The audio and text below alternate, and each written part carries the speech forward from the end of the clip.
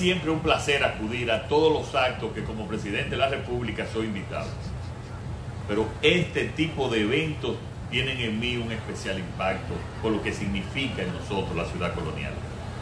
Porque resulta que en acciones como esta se visibiliza, se pone en valor la fuerza de la cooperación, la necesidad de actuar y los beneficios que esto pueda generar.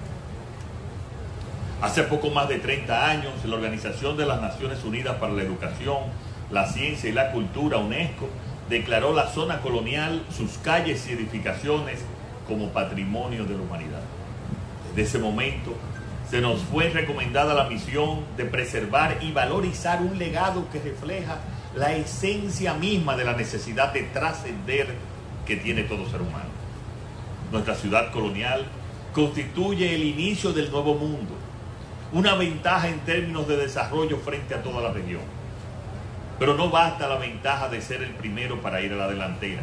Para ello es necesario el trabajo de todo un equipo, de aprender de la experiencia, de defender nuestra nacionalidad y sobre todo de trabajar siempre unidos. Siempre he sostenido que nuestro país posee las mejores condiciones para ser líder mundial del turismo y referente cultural y de ciudadanía. Amigos y amigas, lo tenemos todo. El mejor sol, las playas más hermosas, la gastronomía más deliciosa y una cultura e historia sin igual en esta Latinoamérica, en toda América. Por eso en nuestro plan de desarrollo todo tiene que ser tratado desde una visión general e integral. Todo necesita ser visto desde diferentes prismas e integrarlo de manera conjunta con todos los actores implicados. Y eso hemos logrado hoy. Y por eso quiero destacar aquí y dar las gracias a los ministerios de Turismo y Cultura, así como a la Alcaldía del Distrito Nacional por su implicación en esta visión.